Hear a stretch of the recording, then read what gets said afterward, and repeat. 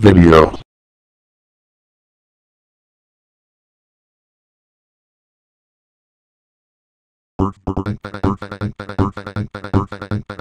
See you in the next video.